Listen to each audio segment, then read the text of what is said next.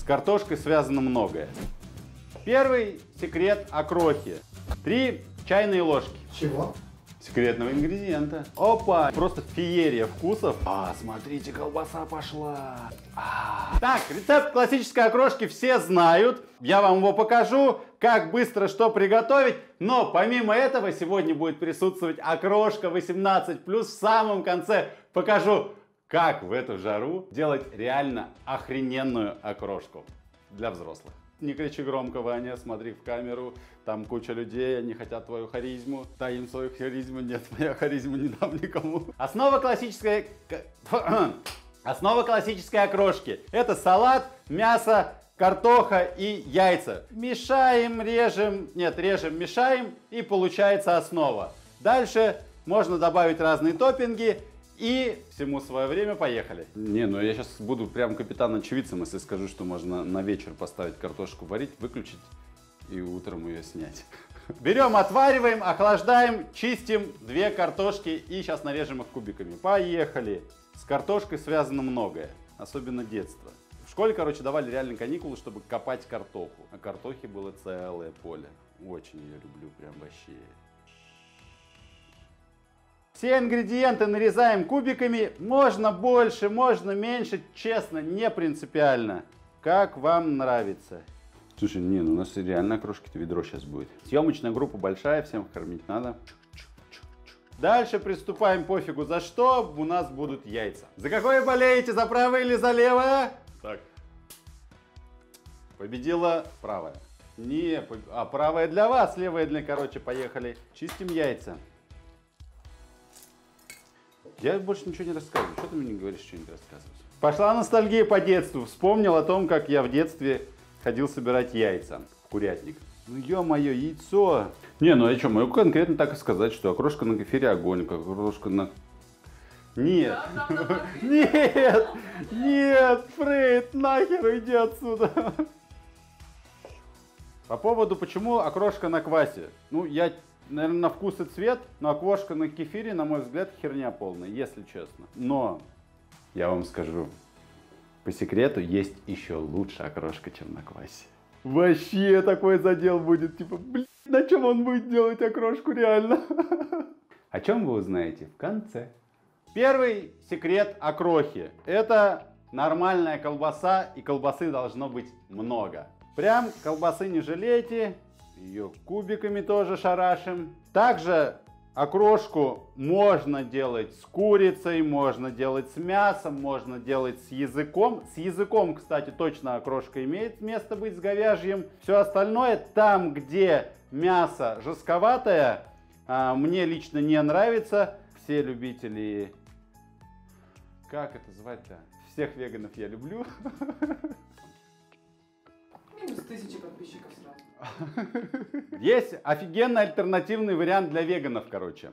Вы можете, в принципе, мясо не ложить туда и сделать все без мяса. А кроха должна быть с мясом. Минус тысячи подписчиков. Ну, слушай, не, ну я же делаю. И буду делать какие-нибудь рецепты без мяса, надеюсь. Да вообще, колбасы ни разу много не бывает. Колбасы бывает только нормально. И мало. Как из сгущенки обычно. Туа, сгух это вообще огонь. Дай попробовать. Нет. Дай попробовать. Нельзя, пока не готово быть, нельзя. Все уже, все нарезал. Держи. Маленький только кусочек, а то крошки не достанется. Чуть-чуть колбасы. Редиску лучше сразу проверять, чтобы она не горчила. То есть редиска должна быть чуть сладковатая. Кстати, по поводу окрохи, почему это реально одно из моих любимых летних блюд, не поддавалось термической обработке и в окрохе остается летом. По факту, окрохой можно назвать все, что взяли, короче, любой салат, захерачили, сделали, добавили мясо, добавили яйцо, вот вам и получилась окрошка. Будешь пробовать? Такой маленький кусочек. Ну а как ты хотела? Я забочусь о... Да, вот сгущенки я тебя жахну потом. Так как редиска это твердая консистенция, ее можно резать помельче, так чтобы она, короче, ну прям создавала хруст, создавала структуру, но не сильно. Яйца нарезали, сейчас нарежем огурцы. Кстати, огурцы тему, когда с грядки срываешь, вообще такой сочняк. Короче, если вы сорвали с грядки большой огурец, ну прям здоровый, у него же кожа э, хреновая, ну, короче, толстая, вы прям берете маленькую ложку и выедаете огурец внутри. Вообще офигенски получается. Кто также ел огурцы в детстве, напишите плюсик в комментарии. Плюс огурец. Я пойму, где деревенские люди сразу. Петрушка, лук, но лука не должно быть много. Кстати, еще можно кинзу. Надо было кинзу жахнуть. Кинза бы дала офигенный. Если будете, вдруг будете покупать зелень, купите кинзу. Кинза даст офигенный вкус. Укроп у нас будет украшать, поэтому его можно крупнее. Так, и все это лето отправляем в наш маленький тазик. Ну и дальше настала очередь секретного ингредиента. Буквально 2-3. Три чайные ложки Чего? секретного ингредиента. Что я, что я рассказывать им буду, ага. Опа, не влазит, видали? Я знал. Каперсы классная тема, все, что связано с салатами, используйте, но немного. Они дадут определенную кислинку м, и яркость. Если вдруг где-то найдете черный маринованный перец, обязательно берите. Офигенная тема, я очень много где использую. И если вдруг найдете где, напишите в комментариях, где нашли, где покупали. В России не могу найти. У меня, вон, видите, почти ничего не осталось.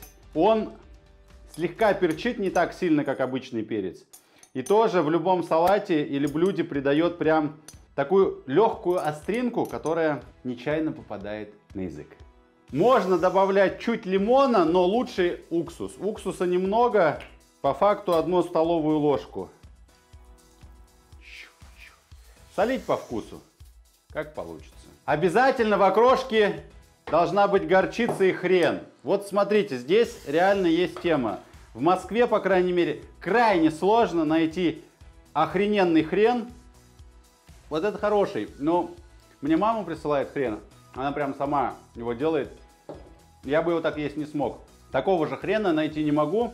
Поэтому берем максимально жесткий, ядреный. У нас не просто будет окрошка, а будет просто феерия вкусов с точки зрения остроты, лета. А, кстати, и хрена, и горчицы должно быть прям нормально. Я люблю нормально, и я так ем. Не, ну, кстати, хрена кажется, что много. На самом деле, ни хрена не хреновый хрен, поэтому нормально. Так, горчицы чуть меньше. Вот столько, я думаю. Вау. Так. О, смотрите, колбаса пошла. Короче, только сейчас догадался о том, что хрен и горчицу надо было замешать в квас. Прям подаете такой охрененный квас. Наверняка так, чтобы не было ни у кого выбора с горчицей или с хреном. Ни хрена вам. И берете холоднющий кувшин из морозильника. И... А. Окрошки должно быть много, кваса должно быть мало. Ну, нормально, короче, все вы понимаете. Так, и... Да, ну, по- понятно, да, сколько должно быть колбасы? Так, сейчас, подождите, я скажу. Слушай, а, а мало хрена? Реально. Ни хрен, ни горчицы не чувствуется. М, слушайте. Вот эта острота, яркость, м, колбаса, все это херня по сравнению с тем, что будет сейчас. Так, мы должны сделать сейчас бам! Где бам? Так.